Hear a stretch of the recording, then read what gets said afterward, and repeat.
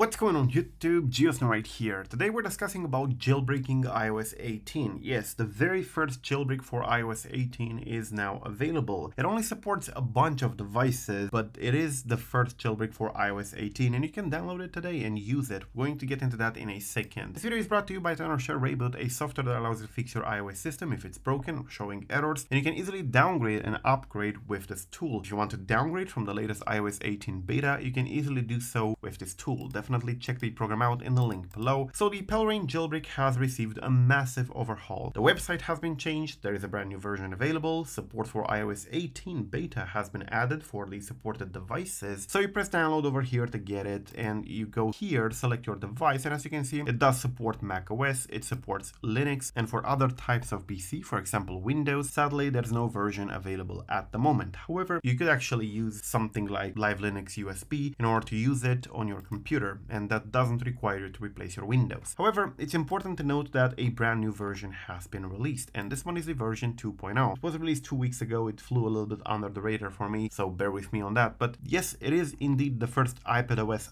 18 supported jailbreak. So you can see that it says in here on the highlighted changes iPadOS 18 support. You can see here that it says this only supports iPads that have gotten iOS 18. And due to this being extremely new, some aspects when jailbreaking are going to be broken. For example, the settings application has been rewritten on iOS 18 and preference loader will need to be updated to work. That's a tweak that allows you to change settings for other tweaks in the settings application. Additionally, ElleKit Safe Mode UI's red top bar is not currently working. iPadOS 17.6 and potentially higher 17 versions are supported. Apple TV support for tvOS 15.0 and above, shipping Procursus Bootstrap and stuff like that. It does have a few fixes as well and some improvements on the speed and whatever, but the most important part is that you now have the option to jailbreak iPadOS 18, aka iOS 18, and you will be able to have tweaks. There are some things that are still broken, but the jailbreak is there, and once you install it, you should be able to install at least some of the tweaks. So yeah, palera1n is indeed a very massive jailbreak. It's unfortunate that it doesn't support newer iPhone models, but you still can get